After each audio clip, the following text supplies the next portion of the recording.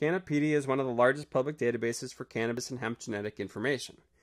In addition to being a genomics resource to the public community, Kannapedia is also where medicinal genomics customers will get access to genetic reports for samples that they submit for either sequencing or genotyping. To date, there are over 1,200 registered strains in Kannapedia. In this video, we'll walk you through the redesigned Kannapedia website and highlight some of the key features. Hitting the registered strain link at the top will bring up a list of all publicly registered strains in Kannapedia. Strains are presented in a session date descending order. You can toggle the order by clicking on the arrow next to the sort by category. You can change the sort by category to either grower or name by clicking on the sort by category, and you can also toggle the sort order of the other categories. On the right-hand side are search parameters that can be used to further refine the results viewed on the left-hand side. For example, click the Add Parameter button, scroll down to THCA percent, enter a value of 15, and then click the Update Results button. What you'll get in the return search is every sample in our database for which a chemotype for THCA has been submitted and which is greater than or equal to 15%. You can also toggle the directionality of the sort order with the arrows that are to the right of the sort by THCA percent parameter. Parameters can also be stacked on top of each other to further refine the search. For example, if we want to search the database for anything with a THCA percent of greater than or equal to 15%, but also a CBDA percent of less than or equal to 5, we just add that as an additional parameter and update the results. Note that the results of what is populated on the left-hand side has changed to reflect these two parameters combined. Lastly, we'll add one additional parameter to further refine the search so that we have any strain name that contains the word lion. We'll update the results, and the two results that are found are the two Jamaican lion samples that are in Kannapedia. One is for CanSNP 90 and one is for whole genome sequencing, and we'll look at those in a little more depth. We'll start by taking a closer look at the whole genome sequencing report for Jamaican lion. The name of the strain is on top, along with the unique identifier sessioned in our Kannapedia database, some information about the submitter, sample name, accession date, reported plant sex, and the sequencing or genotyping technology that was used to generate the genetic report. We've introduced a lot more search functionality into Kannapedia. Several fields in a Kannapedia report now have an embedded hyperlink. If you hover over these, you'll notice to the right of the term a search icon appears. Clicking on any of these links will do a database-wide search matching that particular term. For example, clicking on the medicinal genomics link will give us all samples where medicinal genomics is the submitter. Whereas clicking on the gender female link will give us all samples in the database where the plant sex was reported as being female by the submitter. The rarity plot shows how common your sample is compared to all other samples that have been submitted to Kannapedia. A top-heavy plot indicates that a sample is rare, whereas a bottom-heavy plot indicates that a sample is more common. In the next section of the Kannapedia report, Chemical information for the strain is presented where this information is available. This information is collected from the submitter at the time of sample submission.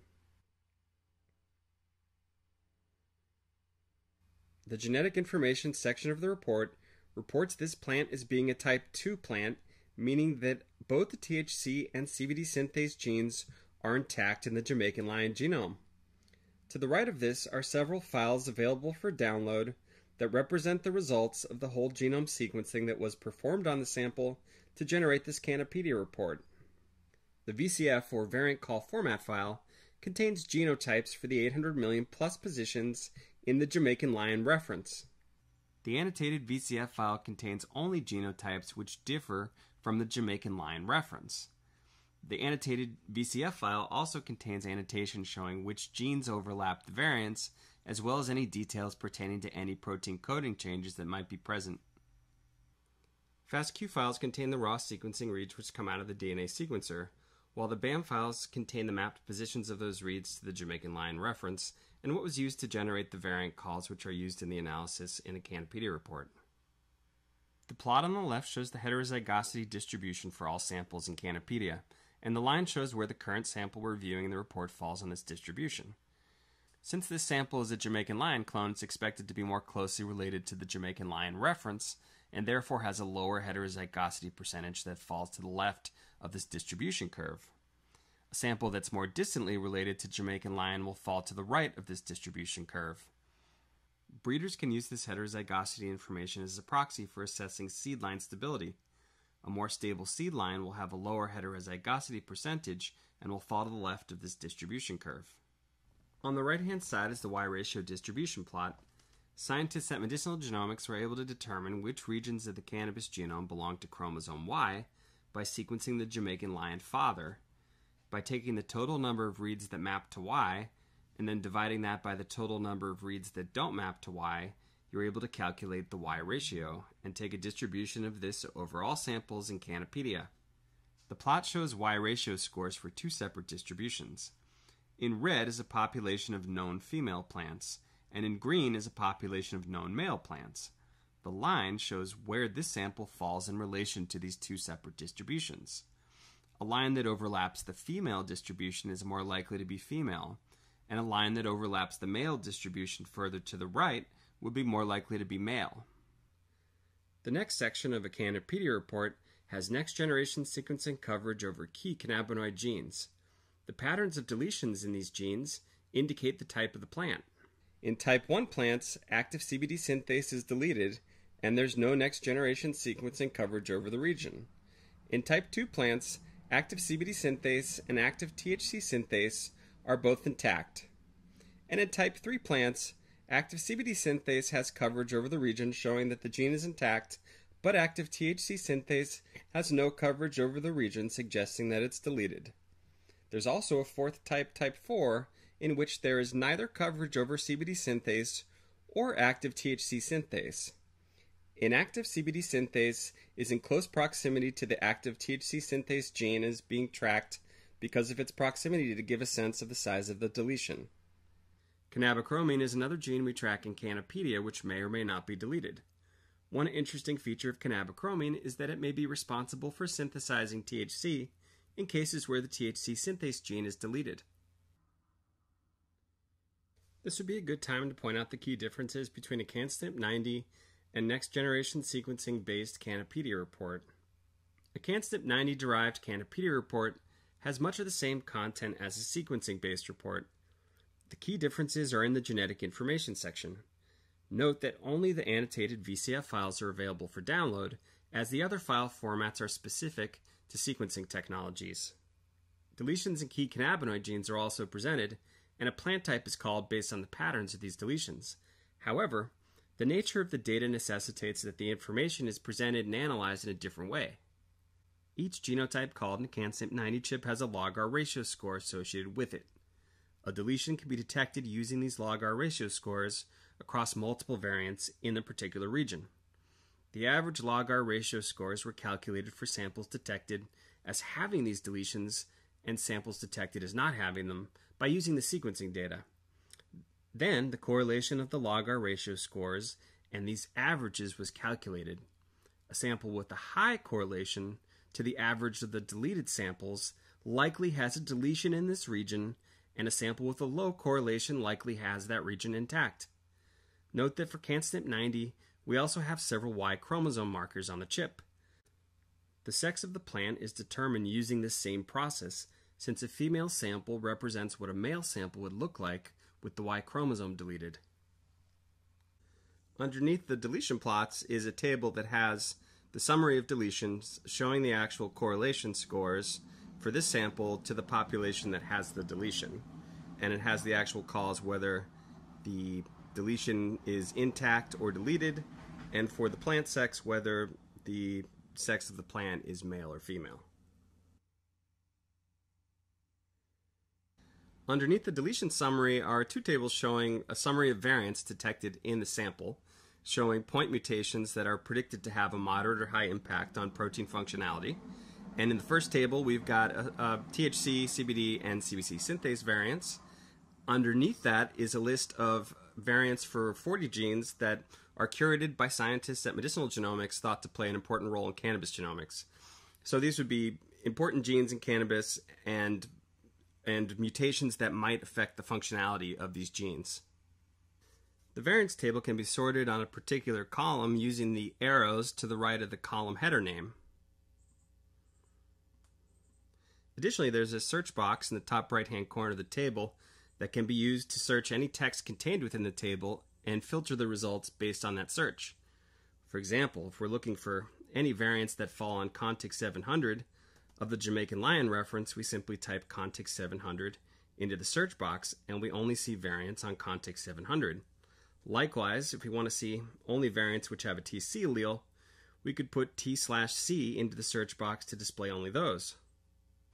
A description of the gene can be displayed by hovering over the gene abbreviation in the gene column. There's also a UniProt link which links out to UniProt, where there's more detailed information describing this particular gene. In the next section of the Kannapedia report, we're showing you the closest genetic, genetically closest samples to your sample compared to everything else in our database. And we do this by taking a list of high quality variants. There's about 4,000 variants or so that are filtered with the high, high QC, values, uh, high sequencing depth of coverage across the reads, and ones that are found in the population with a certain minor allele frequency. We take those variants and calculate a distance between the sample in Kannapedia, and everything else in the database. And then we rank these distances to show you which are the most similar and which are the least similar. And so on the left hand side, we're actually showing you uh, the nearest relative to Jamaica, Jamaican lion, uh, which is the sample that we're looking at in this Kannapedia report. And it's based on every publicly available sample in Kannapedia. That's what that's what you're viewing on the left hand side. You will also see any private samples, which also you are the owner of if you've elected to have private Kannapedia reports. Now, on the right hand side, uh, it's a little different. It's showing what, we what we call the base tree. And the base tree is a set of strains that we have in our database that, for the purpose of calculating distances, we always keep the same base tree. And the idea was just that as Kannapedia continues to grow and and some of these samples that are in the database will continue to grow as well, we'll always have that stable base tree that can be used and referred back to, and uh, and can be used to compare samples to one another and have that kind of stable comparison set that we can use as as kind of Kannapedia grows. Now beneath this we have the opposite collection of tables, which is showing you uh, what is the most genetically distant strain from Jamaican lion and similarly, uh, what are the most genetically distant ones from the base tree? And we have these plots that show the sample of interest uh, as well as kind of giving you a graphical representation of what are the most similar and what are the most distant samples to your sample.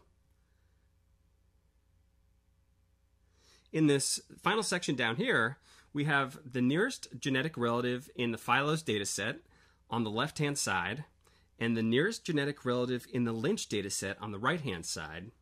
Now, these are two datasets that we downloaded from NCBI. It's publicly available data, and it's just some additional databases that we've added for comparison purposes. So you can look at, uh, for these public data sets, which sample is calculated as being the closest to your sample. And if you click on the link, you'll actually be taken to NCBI to that particular record for that particular um, sample set. And you can get additional information about the sample by exploring these, these links on NCBI. Now, at the very bottom, we have blockchain registration information. Now, what is this? Um, what we're doing is we're taking the genetic data, the uh, VCF file, I, specifically, we take that and we calculate an MD5 sum for it, which is a unique identifier for a particular contents of a particular file. You can take that unique identifier, which is called a hash, uh, a SHA sum hash, and encode it in a blockchain transaction, um, which is what we do. And so the blockchain tra- transaction ID is something that is submitted to the blockchain. You can click on it, and it's a decentralized database that medicinal genomics does not have control over. and it will store your hash sum in the blockchain in a decentralized database. So, what you can do is if you ever need to prove to someone that you had a particular strain with a particular set of genotypes at a particular point in time, you can refer to them to this blockchain transaction. And the only way to get that particular hash sum is using that exact file that was generated as part of the Kannapedia analysis that's in the Kannapedia report. So someone could download that file, they could do their own hash sum of the file, and then they could reference the blockchain to prove that you had that strain at a particular point in time. We also have the details of this blockchain transaction presented in this PDF file, which could be printed out and given to someone, uh, presented to them via email, etc. It's just a nice way to kind of summarize the whole transaction. This concludes the walkthrough of our Kannapedia redesign. If you have any questions, don't hesitate to reach out.